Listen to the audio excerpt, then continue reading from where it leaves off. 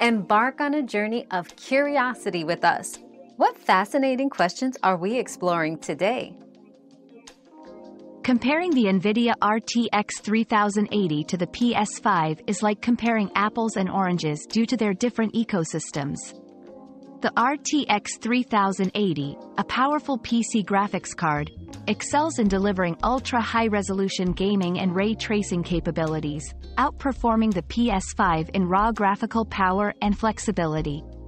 However, the PS5 offers a customized gaming experience with exclusive titles and an optimized system architecture designed for gaming. The choice depends on your gaming preferences and whether you prioritize high-end PC gaming features or a dedicated gaming console experience. Our quest for knowledge never ends. Thanks for being part of today's discovery. Subscribe, like, and share to join us on the next one.